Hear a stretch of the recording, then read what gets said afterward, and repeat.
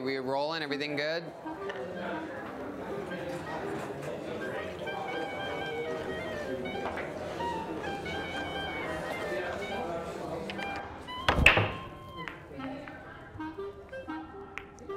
Wow. Just like Kill Tony, sometimes you get a big break, sometimes you end up with nothing. That's gold right there.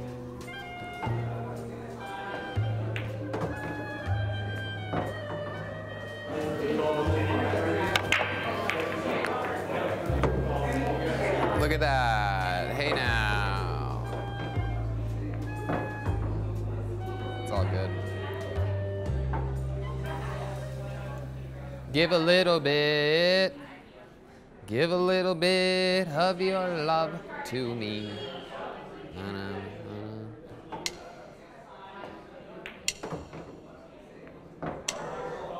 I'm solid, huh? Yep.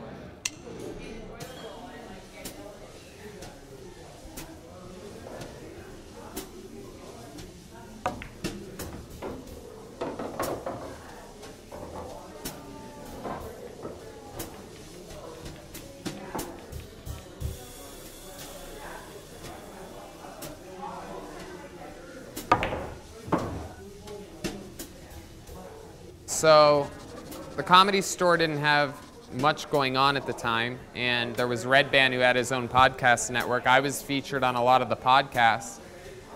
And so when it was time to come up with my own, I wanted to do one live in front of a live audience because that's more fun than sitting in a boring studio telling the same stories about your life over and over again. So, uh, so we went live at the comedy store and I used my comedy store open mic hosting experience where comedians would do three minute long sets and then I would do, I'd make fun of them or give them advice from on stage and I decided to mash that all together into a, uh, a super open mic. You know, sometimes I'd be sitting in the back of the original room at the comedy store and another comedian would sit next to me and we would be laughing at ourselves, whispering in each other's ears about what making fun of whatever comedians on stage to each other. And it would be some of the funniest stuff. And I thought to myself, how do we show the comedy fans this side of it? Like comedians talking about comedy with comedians. And uh, that was another big part of the uh, another big part of the idea. Is like, Ball in hand. yeah. Is um, how do we uh, how do we show these new comedy fans what it's like from that perspective? And so we got a guest and we started the show. And um, then we just constantly evolved it from there. And the rest is history, I think. That's how it started. Thank God for the comedy store, uh, a place that actually develops people and cares about their own type of artists. Because uh, I don't think it would have been able to really gain momentum anywhere else. There was, there's so many comedians hanging out there at all times, and the night that we do it, there's an open mic, and um, so there's a lot of comedians around. They wanted an extra opportunity, especially once they found out that, you know, thousands of people are listening to it and whatnot. And that's it.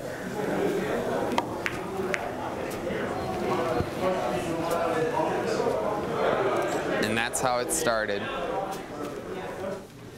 Right there, hold it there.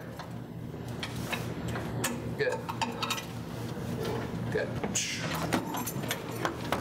Actually, that's a little bit low. Pull back even.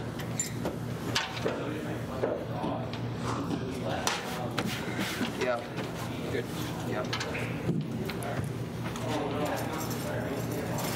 Here we go.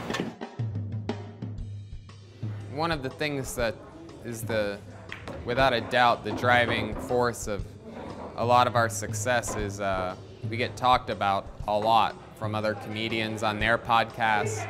There's moments where on Rogan's podcast, there's Ari Shaffir, Tom Segura, and Bert Kreischer, and they're all talking about how great Kill Tony is and how fun I am at making fun of people and how funny the band is at being silly and hilarious. And, and that's like a, a major endorsement. Is there any chance that uh, someone ordered a pizza for us? Was that on our rider? What's that? Was did you get the was there pizza on the thing for us? I can get you pizza. Yeah, can you just order a large pepperoni, whatever your favorite pizza in town that delivers is? Sure. All right, great. I can get it made here if you want. Is it good here? It's decent. Decent. We It's want like- we want your it's favorite. thin crust. We eat a lot of pizza. Oh, it's pizza. thin crust. It's pretty good. Um, I can I can have as many pizzas as you want made here. Yeah. You want a thin? You want this place's thin crust or the best place? I mean, it's, it's up to you. Yeah, I can get you I can get you one of everything we make. I think they got like four or five different ones. I think it's probably. All right, let's do that. We'll do that. You that. want that for now? Yeah, we'll try that out. These people pay money for a ticket to see a show.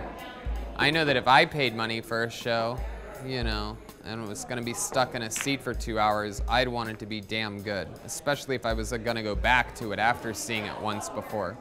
So that's why it's important to figure out how to make these moments and, um, you know, just make it so that people are like, my God, I can't miss whatever's going to happen next. Oh, Tony kind of does before shows. He checks with the bartenders or the staff to check on local references and kind of explore what's been going on in the areas that we are visiting to kind of get a pulse and a gauge on what's going on currently. I'm looking for only references that everybody in the audience will know. So, like, what's going on here in Calgary? So, let's talk about it. What's the gay part of town? Or gay street? The I mean, and by I'm, I'm asking for what? What is the most iconic part that everybody will know? Twisted Elements, like the first game I was ever here. It's the bar. Yeah. What about street area? I don't think we really have a big street. Twisted Elements, the most famous one. Chris, you know, Gonna bring out the angry Twisted Element Bear. That's funny. Kensington's kind of. Oh, Kensington. Why does that ring a bell? Okay, yeah, I'll save that for hipsters. Give me more. Kensington is hipsters. Okay, let me ask you this. Uh, what is the ethnicities of the people that live here? White, 90%? Yeah. And then what's 10%? Asian. Asian. What kind of Asian? Like Chinese. Chinese? Yeah. Chinese and East Indian. Why are there East Indians here? Are there igloos out here? No. Um, so it's an oil town. This is like the Texas of Canada, right? 100%. Everybody's got a truck. Everybody's manly. They're all tough out here. Um, and what else? What else about Calgary, guys? Who's the new prime minister? Justin Trudeau. That's right. Really? I thought everyone liked that guy. Oh, no, he's Oh. Your sports team is the Calgary Flames. Yeah. There's no other sports here, right? Once a year in July for two weeks, the entire city shuts down and gets wasted. Really? What's that called? The Calgary Stampede. The Calgary Stampede. I did know about that. Ari Shaffir once tried to bring me up here for that. Yeah, yeah. So this girl got double teamed at the Stampede, and now she's like locally famous. Pot's legal now, right? Is weed legal here? Everywhere in Canada now. Um, okay, so that's Calgary. One of the reasons why I don't think it became a, a Netflix show or a TV show is that you can't really describe Kill Tony in like one sentence. Like there is no one line that describes Kill Tony. It's such a multifaceted, extreme comedy show. And one of the reasons why, you know, without a doubt, is the fact that sometimes it's not a comedy show. Sometimes it's a very serious show with a lot of laughter mixed in. Wow. I never know what to do with these things. What?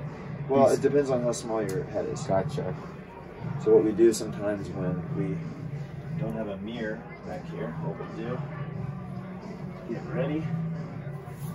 Nah, I don't need it. Fuck it. Is this? We'll pull out. Pull out the camera function on our phone, like the selfie mode, and then we'll hold it for each other to see how each other how we look. Great. Good. Yeah.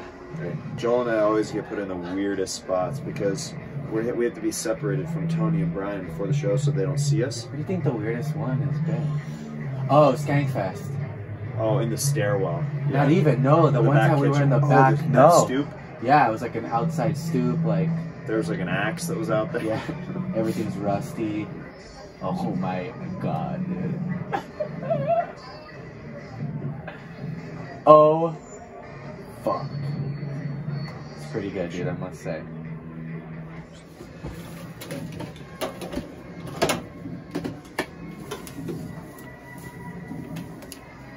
Pretty good, dude.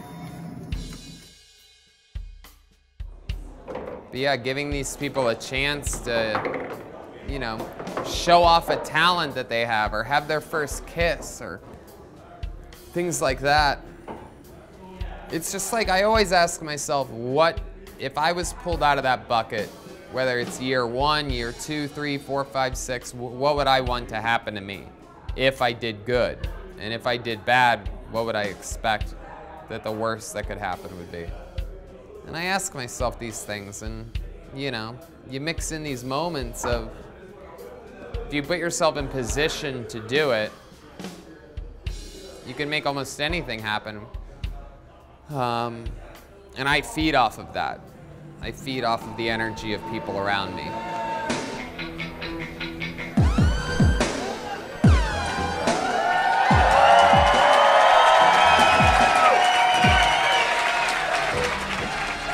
Hey, this is Redban coming to you live from Calgary for a brand new episode of Kill Tony. Give it up for Tony Hinchcliffe.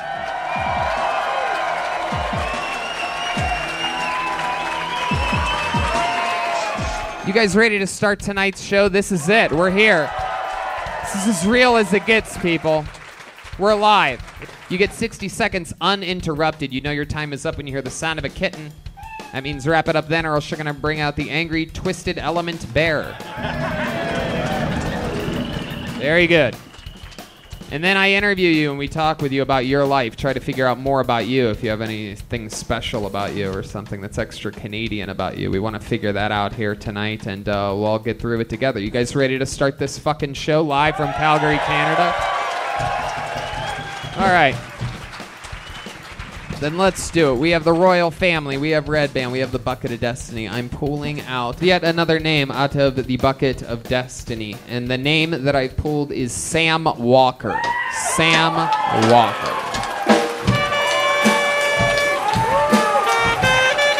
Hey, put a gun against his head. Pulled that trigger, now he's dead. Come on, guys. Sam Walker, everybody.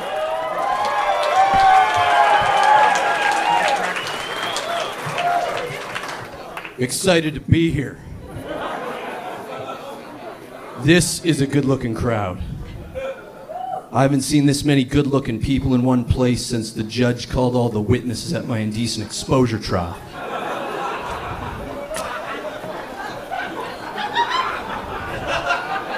Don't worry, I got off.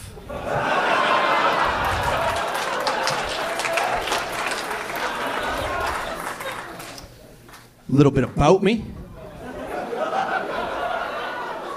I like to walk the streets at night and pleasantly surprise people by not attacking them.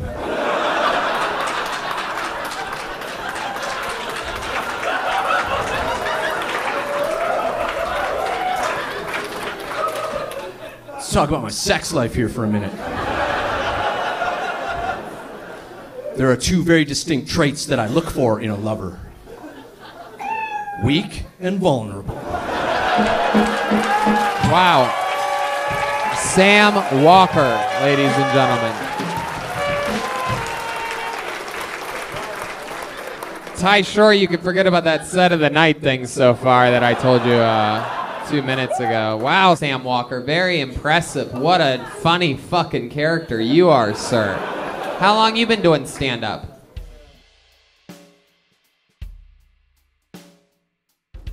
I mean, the truth is, is that the minute's one thing, but the interview's really the most important part of the whole thing. People being honest, being vulnerable, staying hilarious. You know, you can have 60 seconds of good material, but we really find out the real meat and potatoes about you in the um, in the interview part. It's, it's a tough position because they have no idea what I'm going to ask, and uh, and uh, you know, even everybody that's ever won a golden ticket, they don't win it with the 60 seconds. You have to be a well-rounded, not just performer, but also improviser and just human. You have to be a great guest on the podcast, not just a great comedian for a minute.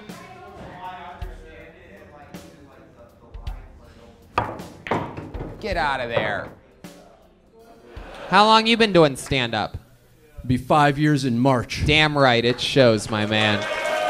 Let's check in with, uh, we're gonna check in with Prince Harry. It's nice to finally know that OJ did not actually murder that woman.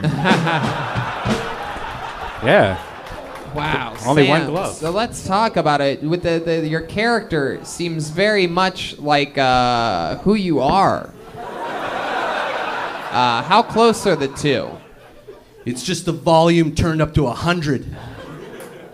But it's at, it's at like 89 right now, though. it doesn't. It can go higher. Yeah. Whoa! Don't give me that look. I am both weak and vulnerable right now. I really hope we find out this is Sacha Baron Cohen doing it. My goodness, you have a real fanny pack there, Sam. What's inside of it? Condoms and Vicodin.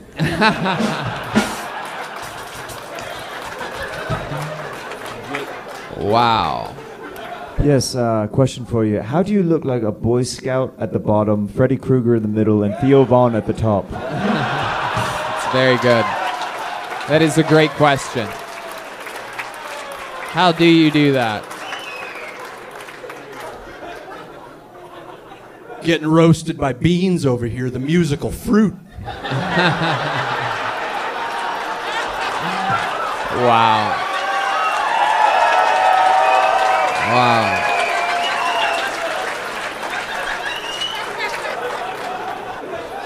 So you live here in Calgary? Yeah, born and raised. Very cool. What else? What else should we know about you? Anything else interesting about Sam Walker that this sold out capacity audience here in your hometown should know? I used to be married Yeah. to a woman. What happened there? Where is her body?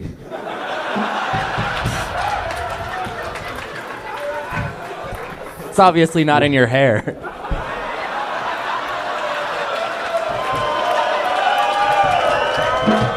No one talks to my man like that. You come at Beans, you come at the royal couple. My goodness. It's a revolutionary war happening up here right now. Fair's fair.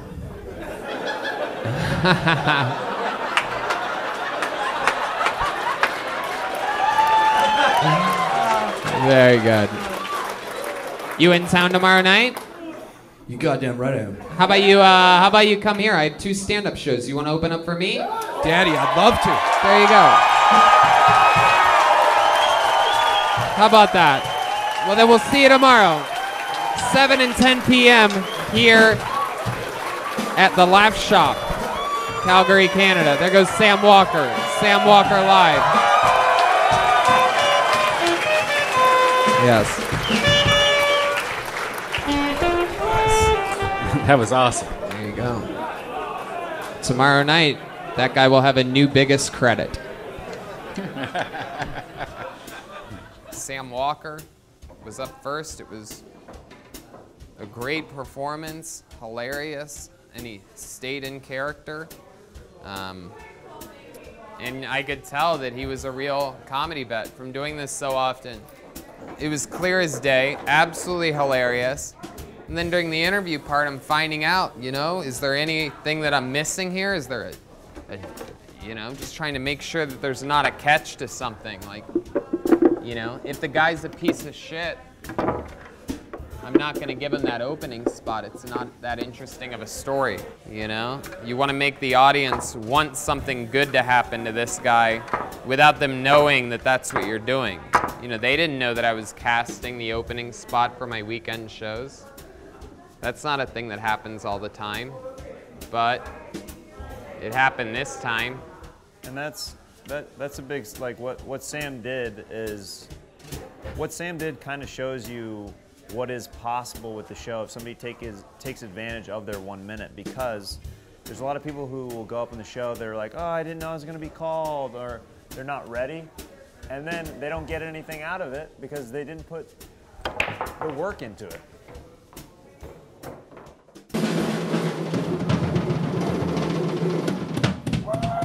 Whoa,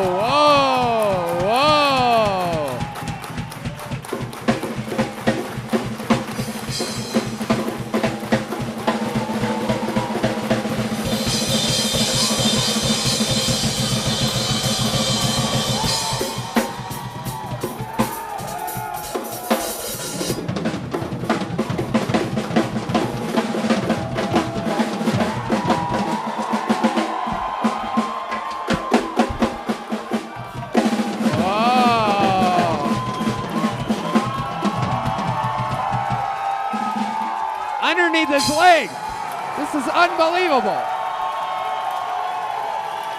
Unbelievable. I can't believe what we're seeing here. Okay, pulled another name out of the bucket. This looks like a fun one. Let's see what happens here. Make some noise for Sam Benty. Sam Benty, another Canadian, coming to the stage here on Kill Tony. Wow, he's running. Sam Benty. Here he comes. Ah! Sam Benty. Trying not to smoke as much weed recently. So I've been eating a lot of weed recently.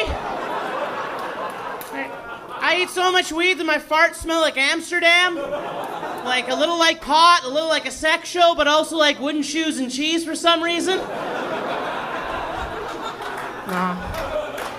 I, I've still been uh, smoking a lot of pot. And, and that's because I got given a, a, real crystal bong for Christmas. And I know it's real crystal because I do the wine glass test where it goes around the rim and it's like, but, but it's a real crystal bong, so it goes ding, ding, ding, ding, ding, ding, ding, don't worry, ding, ding. It's real crystal! Yeah.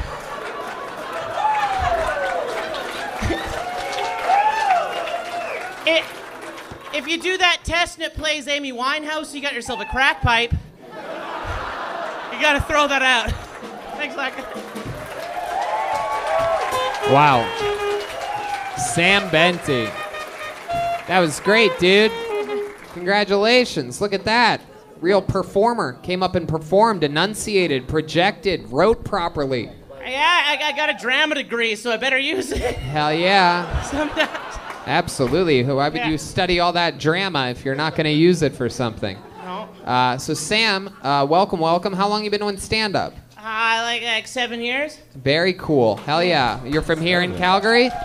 Yeah, mo- mo- most of it here in Calgary. I love it. This is one of my favorite things about the show. Alongside people doing it for their first times, doing good or bad, being surprised that uh, that they even got pulled out of a bucket. There's actual comedy veterans, solid comedians signing up for the show tonight. That's so fucking cool. So seven years. What else? How about hobbies when you're not working? What are we Uh, talking about? What do you do to relax, take your mind off of this uh, strenuous life that you have? Oh man, uh, I love going to karaoke. You do Like singing. That, yeah? That's my favorite What's thing. your What's your main go-to song on karaoke?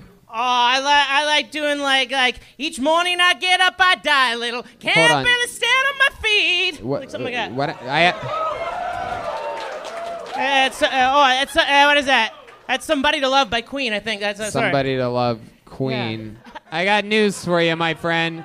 You're about to sing "Somebody to Love" right now in Calgary, Canada. Oh shit! Can will be our part. Find me somebody to love. Fuck yeah, Sam Benty, ladies and gentlemen. Live in Calgary, Canada. Each morning I get up, I die a little. Can't barely stand on my feet. Take a look. He's taking off his clothes. And cry, Lord, what you doing to me? I've spent all my years in believing you, but I just can't get no relief. Lord, somebody, somebody, can anybody find me somebody love? Yeah, how about that? Wow. That was good. The whole crowd got behind you on the somebodies and the big finish there. Exciting, Sam. How, you must get all the pussy here in Canada, huh? Yeah. Did you no. notice that stopped about six years ago? Uh, I, I hang out at Twisted Element too much for that. oh, that's cool. So you're a Canadian gay man. Uh, no, no, I was just Oh. running. I was running a comedy show actually out of there uh, uh, when I was living here last time. I just moved back to town, so I'm just kind of in transition. So Sam, it's okay if you're gay. You're allowed to say it. Just because you're, I know you're in Calgary around all these manly men, and you feel like, but I mean, if they're dragging anybody behind their truck tonight, it's probably uh, Lahan from earlier, who, Lahan Olawale.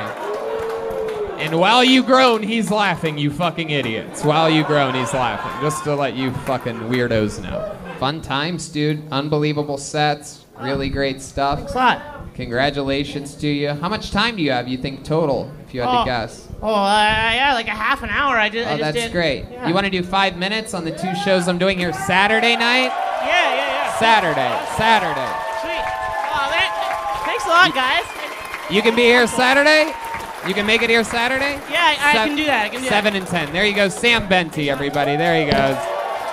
He's on Twitter at Sammy Ray Benty. Man, Oh yeah, well the people who do well in the show get rewarded handsomely for it. And the way we kind of look at the meet and greet is the show's not done until everybody's out of the door. I stay in character sometimes during the meet and greet. I think some people like it. Some people might be weirded out by it. I don't know. Sometimes it makes me more comfortable to just stay in character because once I'm locked in, it's easier for me to, after everybody leaves, get out of the character rather than like staying in costume and then be like, oh, hi, I'm Jeremiah, even though I'm wearing all this Prince garb. So I think there's just kind of a buzzing energy until everybody's out that door, and then we can finally relax. And that's why we like to play pool and unwind like this after the shows. There he is. Welcome to the fray, my friend. Thanks, Daddy. It's just me, you, and him tomorrow night, dude. Honor. Honor. Thank you so much, man. I was uh, probably the biggest set of my life thus far. Yeah. Was tonight. Thanks a lot for the Absolutely. The opportunity. next two biggest ones are tomorrow night. I'll be ready, Let's man. go. Gonna go home. You're part of uh, the Calgary Kill Tony documentary. You didn't even know that, but you got that going on. This is a quadruple hit for you tonight. I'll take it. You How got, much you got time? four gigs for signing up for one show. Powerful. Thanks a lot. That's what all the hard work and fucking preparation and natural talent. That's what it gets you. Success. That's right. When preparation meets opportunity. You're goddamn Success. motherfucking right. Macho man. You're goddamn fucking right. Thanks, Daddy. I You appreciate did it. that. Absolutely. Um, I'll see you tomorrow. Seven and ten tomorrow night. What's better for you, five or ten? Ten, please. Let's do ten. That'd be amazing, dude. Thank you so much. That was uh, that was awesome. Yeah, nice to meet you, man. You got to get the Yeah. party started. It might be weird in the opening, opening, opening spot, but you can get them. Don't right? worry, man. I'm ready Okay, to uh, great. ready to throw Great. down. You'll be bringing up Jeremiah Watkins. You can research his Jeremiah? credits in the meanwhile. I'll see you guys tomorrow. He's the leader of the band for the podcast Thank Kill so Tony. much. Yeah, nice Roast meeting you. Battle. He's got his own hit podcast called Jeremiah Wonders. You got to bring him up, dude. You're not bringing me up. He's bringing me up. But you got to bring him up, and you got to do it we good. Piggyback style. Okay, Piggyback. I got you. I'll be uh, I'll do my homework. I'll be ready. I love it. Rock and roll Sam Walker. No homework. Thank you, dude. No Thank you. homework. needed. Like, Yeah, yeah, just like I said, like I said, like I said during the show, if it wasn't for a couple people an episode being badass veterans and fucking, you know, not looking at it like, oh, this is for first timers and open micers, but you look Yeah. at you treated it like, holy shit, I can kill so hard that I can. One minute, man. That was right. that was That's- intense. And look what you did.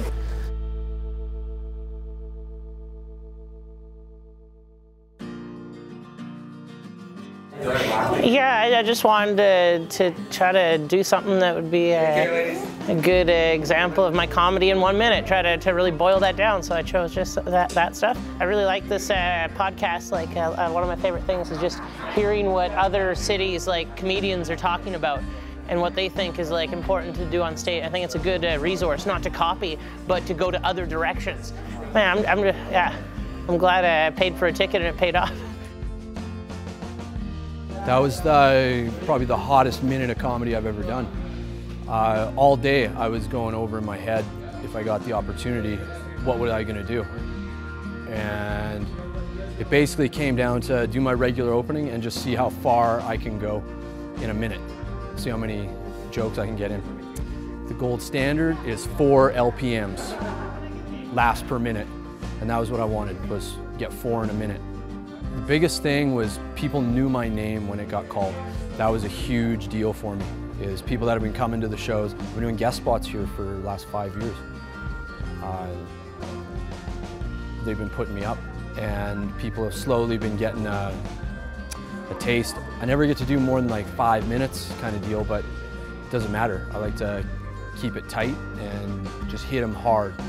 Boom, boom, boom, no, no dead air kind of deal they recognized me and remembered me and it's just uh, the fact that that's going to be on the internet for the rest of my life i'm very pleased about that. That's a huge huge deal. So day at a time. I'm ready for tomorrow.